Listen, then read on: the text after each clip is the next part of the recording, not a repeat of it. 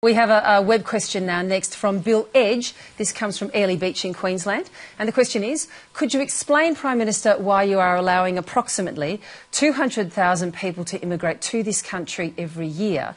And are there any plans to limit this intake or will it go on ad infinitum?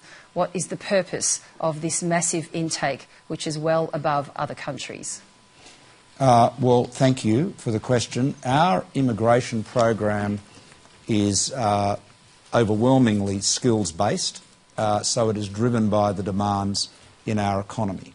So as you get, uh, if, as you, you know, as you have more demand for for you know people with the skills that we need in our economy, then you'll get more immigration. If you have less economic slow, slower economic growth, you'll get less immigration. We've taken steps, as you know, to abolish the rorts in the 457, you know, 457 visa class, the temporary migration uh, uh, visa class. Uh, and so we're very focused on making sure that uh, we don't bring in skills from overseas unless there really is a skills shortage in Australia. But the answer to the question is that we need that the people that come to Australia overwhelmingly are in response to demands from the economy.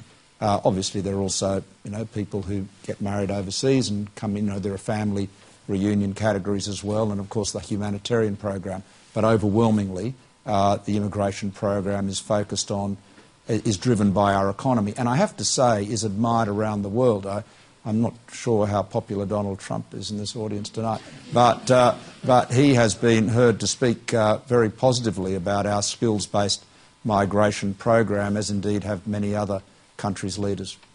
Let's go to our next